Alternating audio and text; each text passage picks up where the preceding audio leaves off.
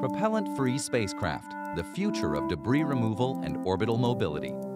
Currently, most orbital spacecraft generate thrust by ejecting propellant, the need for propellant has hampered efforts to remove debris from Earth's orbit, a problem which has resulted in an orbit increasingly cluttered by defunct satellites and remnants of old space missions.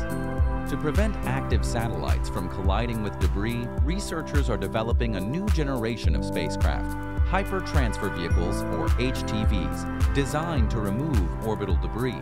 These HTVs need to be agile enough to grab debris, drag it down to the Earth's atmosphere to safely burn up, then return to the higher orbit to repeat the operation.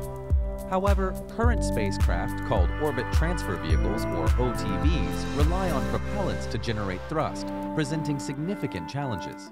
Propellant-based OTVs are not only inefficient, but they also require frequent refueling missions from Earth, making it impossible to develop reusable spacecraft capable of performing this debris removal task at scale. Enter Dennis Lee, Vortex Space Systems, who envisions using a revolutionary approach to a fundamental principle in physics, the conservation of angular momentum, or CAM.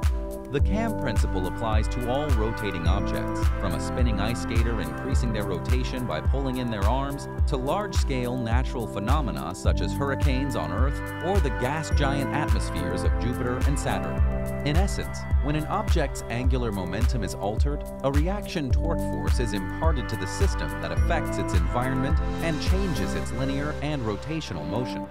According to Lee, the reaction forces imparted through CAM will greatly exceed electric Hall propulsion thrusters.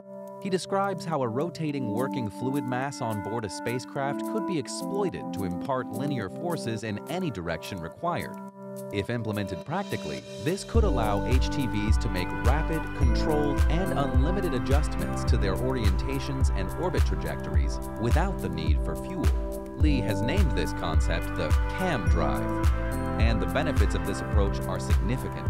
Lee calculates that the reusability and flexibility offered by the CAM drive could slash the cost of debris removal from 7,500 US dollars per kilogram down to just $200. While still in the early stages of development, Lee's findings are a promising first step toward a new generation of HTVs, one that would use high-cadence operations to declutter Earth's orbits for many years to come. As research progresses, Lee hopes that his work will inspire researchers to consider new techniques for CAM analysis in studying nature and generating propellant-free thrust. A glimpse into the future of space travel where propellant-free propulsion unlocks new possibilities for both orbit operations and the broader new space economy.